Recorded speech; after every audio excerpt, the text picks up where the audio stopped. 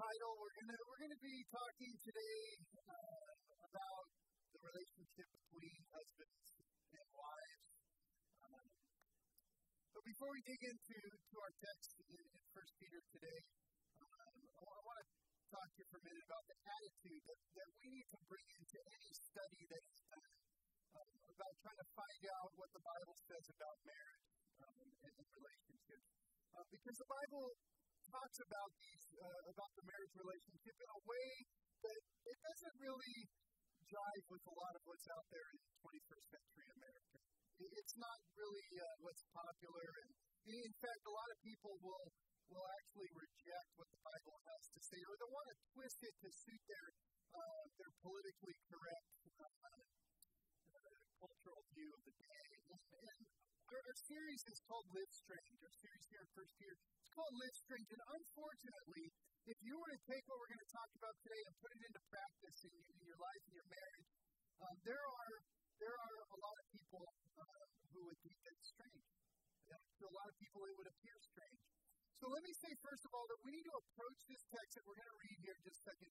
We need to approach it carefully, uh, but we got to leave any sinful, selfish attitudes behind if we really want to get out of it what we need to. One of the sins that most, uh, I think, that most often causes hardships in marriage is the sin of pride. The sin of pride. Pride results in selfishness. It's that it's that me, me, me attitude that's so prevalent in, in today's world. Um, but there might be some of you going, you know, you're thinking right now, well, well, I, I don't have that problem because in our marriage it's a it's a 50-50 proposition, right? Well, if if that's the case, if you think marriage is a 50-50 proposition, uh, guess what? That also is a selfish attitude. Uh, because marriage is not about trying to just equal and balance everything out. It's not about, uh, you know, well, if you give this, then I'll give this. It's not that at all. Marriage is actually uh, giving everything you have without any reservation at all. It's it's a 100% all in for the other person proposition. So if we talk about husbands need to love your wives as Christ loved the church, or wives need to submit to your husbands, the first thought should not be, yeah, but what am I going to get out of it? The second thing I want to mention is that, that we need to leave behind the attitude that uh, everything that's done today is done better than it used to be done. I think we think that sometimes. So many people today believe that we've, we've progressed to the point that we're at the peak of social development, right? Like we've just, we've developed as a, as a culture, as a people, to where the, you know, the, the things that we do and the views that we have and the norms of today are far superior to the way they used to be before. Um, and, and so, to the point that if the Bible disagrees with the cultural norm or the cultural belief of the day, then it's the Bible that must be wrong. Right? Well, as we read our passage today, I want to encourage you to just consider what God has to say to us from His Word and see if you can put it into practice, trusting in the fact that God's way is the best way. Amen? God's way is the best way. So let's read it. Turn to 1 Peter uh, chapter 3. 1 Peter chapter 3.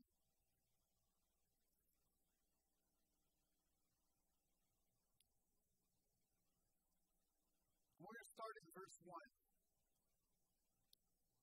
Says this Likewise, wives, be subject to your own husbands, so that even if some do not obey the word, they be, they be won over without a word by the conduct of their wives, when they see your respectful and pure conduct. Do not let your adorning be external, the braiding of hair and the putting on of gold jewelry, or, or the clothing you wear, but let your adorning be the hidden person of the heart, with the imperishable beauty of a gentle and quiet spirit, which in God's sight is very precious. For this is how the holy women who hoped in God used to adorn themselves, by submitting to their own husbands, as Sarah obeyed Abraham, calling him Lord, and you are her children if you do good and do not fear anything that is frightening. Likewise, husbands, live with your wives in an understanding way, showing honor to the woman as the weaker vessel, since they are heirs with you of the grace of life, so that your prayers may not be hindered. So he begins this this this uh, passage here um, with the word likewise. Likewise. Or, or it, it means in the same way. In the same way. Now, if you think of in the same way, you got to say, well, in the same way as what? What is he referring to? Well, we have to look back um, at the passage right before this, back in chapter 2, to know what he's talking about. You remember last week, starting in verse 13, we talked about the fact that we are, we are to submit to authority, to those in authority over us. Uh, and we talked uh, primarily about governmental authority, that we should be respectful and we should submit to, to government authority. Unless they're asking us to do things that are against God's word, we are to submit to government authority. The passage goes on after that to talk about us submitting to bosses, employers, uh, uh, and that we're to submit to those authorities too, even if they're unfair. So now Peter's talking about another relationship as he says, in the same way, in the same way, wives, be subject to your own husbands. In the same way that we all have this submissive spirit towards government and towards employers, wives, he says, should be subject to their husbands. But you know what? I think there's even another element to this. Because that previous passage concludes with a description of how Jesus himself put this principle into practice in his own life. Uh, and let's read that in uh, verses 21 to 25. In chapter 2. He says this For to this you've been called because Christ also suffered for you, leaving you an example for, for you to follow, that you might follow in his steps. He committed no sin, neither was deceit found in his mouth. When he was reviled, he did not revile in return. When he suffered, he did not threaten, but continued entrusting himself to him who judges justly. He himself bore our sins in his body on the tree, that we might die to sin and live to righteousness. By his wounds you have been healed for you were straying like sheep, but have now returned to the shepherd and overseer of your souls. So when Peter says, in the same way, I believe he's also talking about this.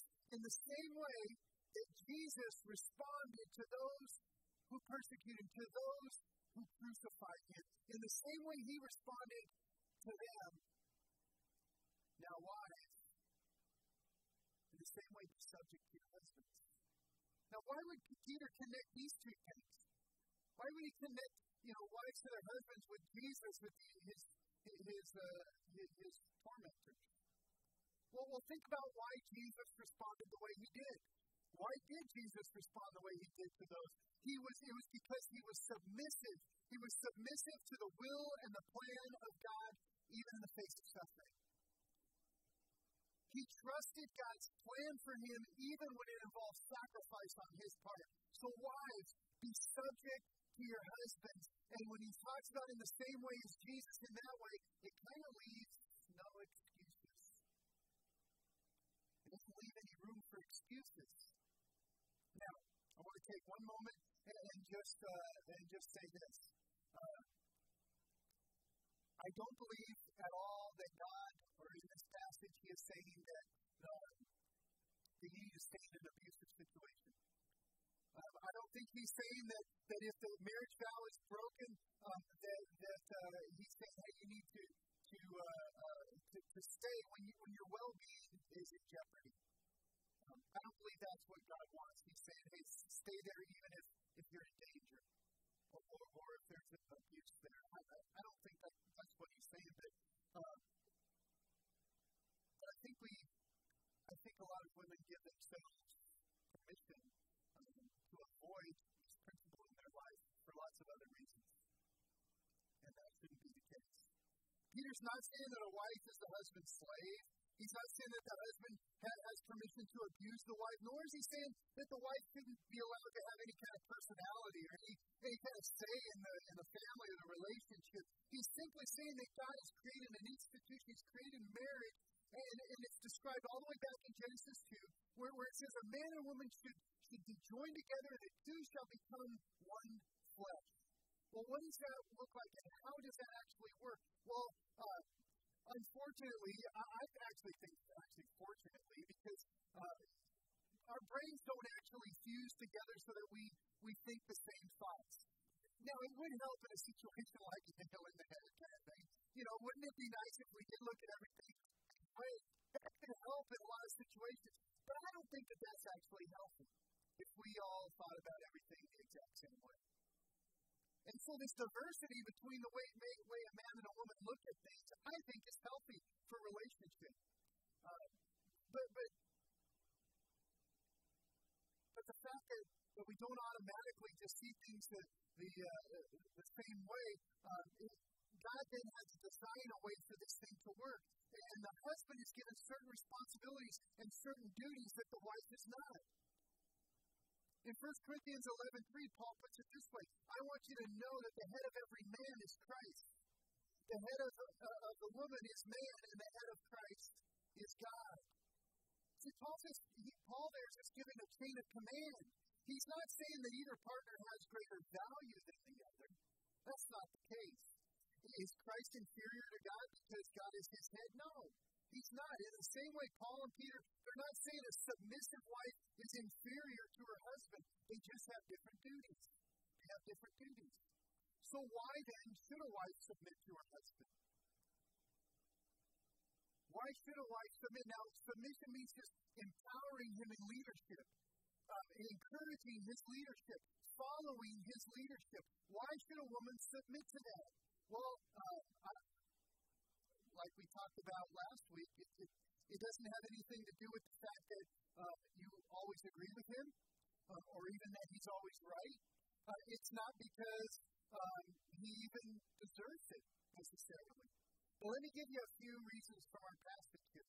The first reason, found in verse 1 and 2, is that you should submit because by doing so, you may uh, lead your unbelieving husband to Christ. Peter says you can win them over sometimes without even having to say a word, simply by your conduct, simply by the things that you do, the way that you do them, the things that you say, by your Christ like conduct. You can win over an unbelieving husband. The second reason in verse 3 and 4, it says you should submit because a respectful and submissive spirit is more beautiful than anything else.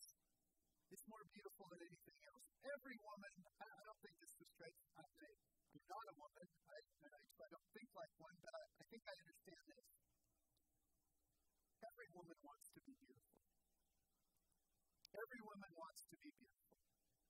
And Peter is saying to you women, don't only pursue external beauty, like fancy hairdos and flashy jewelry and expensive clothes. Instead, he's saying, make your priority the beauty that comes from inside. Comes from within, the beauty of a gentle and quiet spirit. That is what truly makes you beautiful. He's saying that should be your priority. Does that mean it's wrong for ladies to wear jewelry or dress nice or fix up their hair or wear makeup? No. It doesn't mean that at all. That's not what he's saying. What he's saying is, though, keep in mind that external beauty is fleeting. It's fleeting. Proverbs 31 30 says, Charm is deceitful, and beauty is vain, or, or it actually says fleeting. But a woman who fears the Lord is to be praised. It's the beauty of the heart that says in verse 4 there is what is imperishable. It does not fade. It does not go away. The beauty of the heart. It's the beauty of the heart that is true beauty. Now, external beauty has its place. It's not that you should just completely neglect how you look on the outside.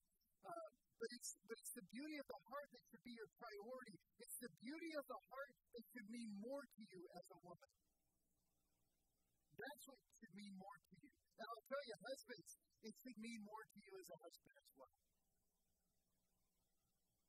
And you know what, husbands, you to tell your wife that she's beautiful. Tell her how beautiful she is to you.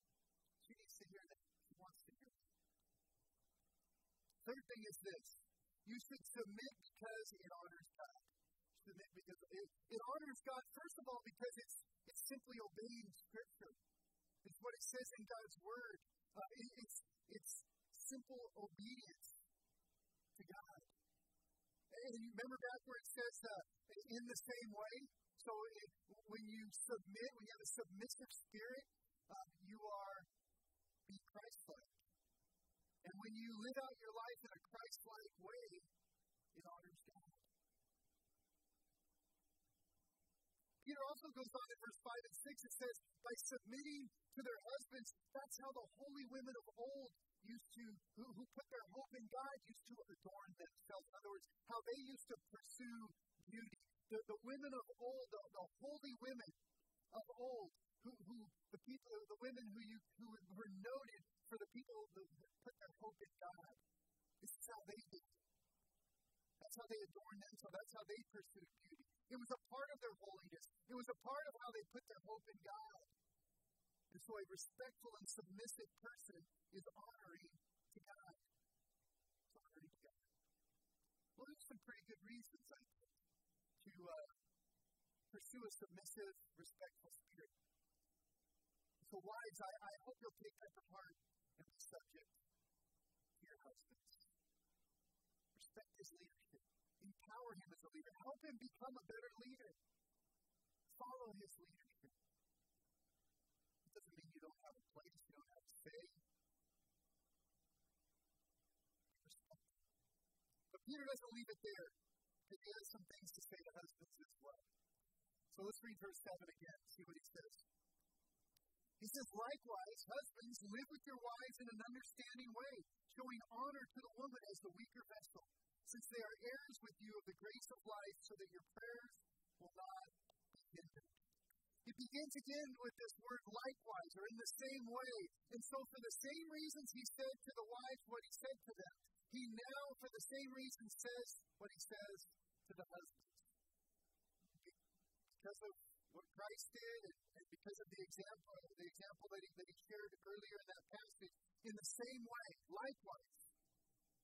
And here's what he has to say. Well, what does he say? He doesn't say, well, husbands, you should subdue your wives. He doesn't say you should overpower your wife. He doesn't even say that it's up to you to make sure she's submissive.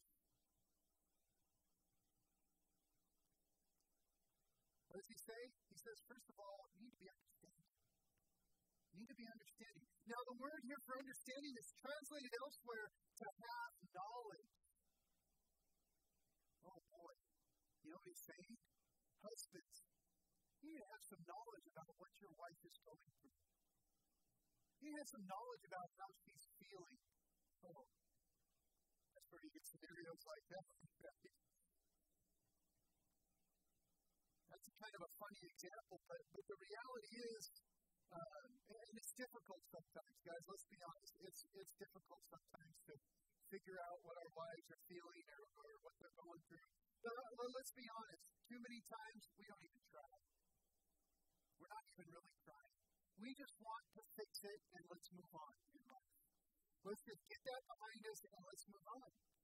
And, and, and we're not even trying to, to know what they're going through. We're not even trying to know what they're feeling. We're not trying to be understanding as husbands, but we're called here to live in a way that is understanding. Second thing he says to us is that husbands, you need to show honor to your wives as the weaker vessel. This gets a little sticky sometimes. We start mentioning this. Is Peter really saying that, that women are weaker than men? I mean, if we're honest, there, there are some ways that women are, are weaker than men, generally speaking. I mean, generally speaking, uh, men are stronger physically than women, although it's not always the case. There are women that can take, take me in a second overpower me. Uh, but uh, uh, so that's not always true, but generally speaking, that's true. Um, typically, you know, men are, are stronger physically than women. But if we're honest, women in a lot of situations can be way tougher than men. Let me give you an example. If men had to give birth, we would have been extinct years and years ago. I don't know if we could handle that. But I don't even think that's what Peter's talking about here. I don't even think that's. In fact, I don't even think that Peter is saying that women are in fact weaker.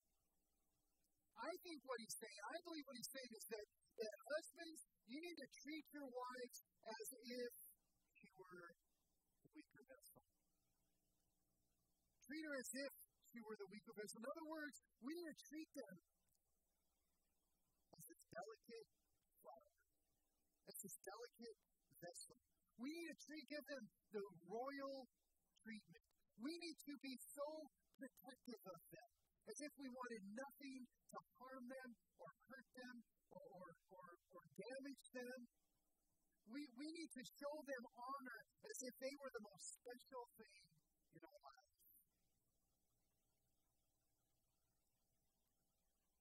Husbands, you need to, to treat your wives that way. It's delicate. It's something that you would you, want to just protect and take care of and handle gently so that so that nothing would ever bruise her, hurt her, damage her, cause any harm to her. Treat her that way. The third thing he says is that husbands should value their wives. Husbands should value their wives. It says there that, that they are co heirs with us in the grace of God, in the grace of life. Co heirs. As co heirs, this means they have equal value. It's not that men are above them and then they get the leftovers of the, of the you know, of the blessings of God.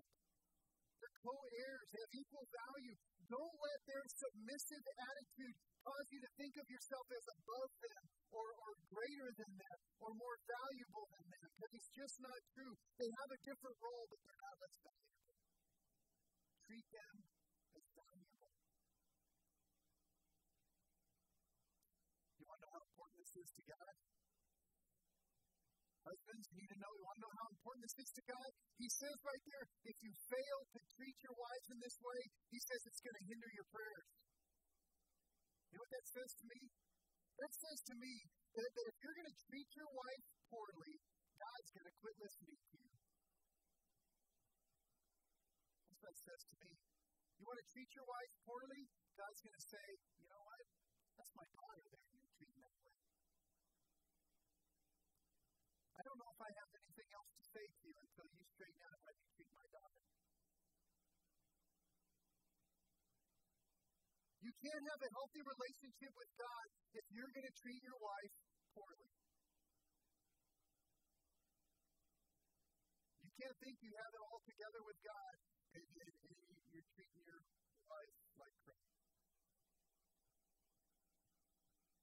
He says it's going to affect your relationship with, with me, it's going to affect your life. You got to treat her right. Marriage can be tough. Can be tough. Let's be honest. But I was actually thinking though about the situation that, that Peter was writing to though. He's writing to these people who who uh, uh, I would think would have had been going through an incredible amount of stress. Now when we think about it, I've seen it a hundred times. Um, you inject stress into a marriage, and boy, it becomes really difficult. Every hardship that, that exists in that marriage just gets magnified. Whether that be financial stress or you know there's stress at work or you know health issues, you, you inject any kind of stress, you know, with the kids or with your parents or whatever stress is going on around you. you when that begins to infiltrate into a marriage relationship, boy, it, it, it, it makes it really difficult because all the problems just get really stress can take its toll on a marriage. And I've seen it a. Well, think about the of stress that these couples might have been going through that Peter's running into. They're, they're facing persecution. Some of their people around them are being killed for their faith. They're, they're being tortured. They're being abandoned by their families. They're losing their jobs, all because of their faith in Jesus Christ. I can't imagine the amount of stress that was around their, their marriage. So, how do you keep your marriage strong in the face of opposition? How do you keep your marriage strong when, when, when you're faced with stressful situations in life? Very simply, by following God's plan. Following God's plan. And God's plan is that wives should show respect to their husbands, and the husbands need to honor and love their wives. And, and, you might think, wow, that's really oversimplifying it. Well, in a way it is, But it really is that simple. That's how you keep your marriage strong. Is each partner saying, I'm going to do my duty towards my spouse. I'm going to do my part that God's given me for this relationship. It's a recipe for success. Let's pray together. Father, I'm thankful for your word. Thankful that you give us direction, instruction. And Lord, what you what have to say today is not popular out there in the world today.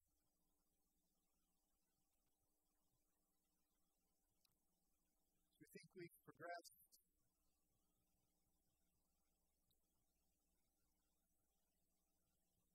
And Lord, many times we look at what's in your word and we think it's foolish.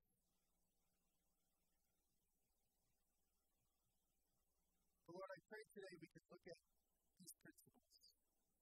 The idea of a wise respecting a husband, the idea of a husband loving and cherishing his wife. And I pray you'd help each of us figure out how to practice in our lives. How to apply that in our marriage.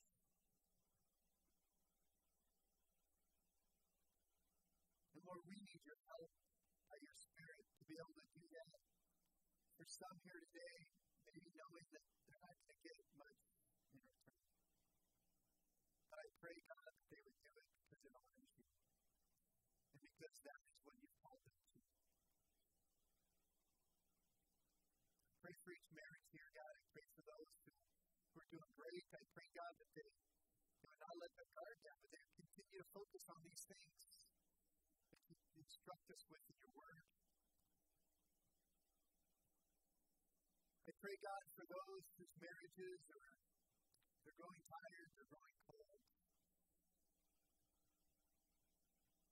Partners are growing, growing apart. And I pray, God, right now that they would understand how important it is to go all in, to make the investment, to work through what's going on. And they would know if they put your principles into practice, their, their, their relationship could thrive and be healthy again. I pray for those whose marriages are they're in jeopardy. I pray, God, that you work a miracle. Bring them back together. Lord, today I also want to pray for those here today who are not married, either because of a divorce. God, I pray for you bring healing to the wounds that are left from divorce. Lord, there's others who are married for other reasons. Maybe just never been married, or maybe you're widowed. And Lord, I, I pray that you just bring your word alive show them how to put these principles at work in their lives, in other relationships. Help them walk away knowing that they need to figure out how to live their lives and relate to others in a way that would be honoring to you.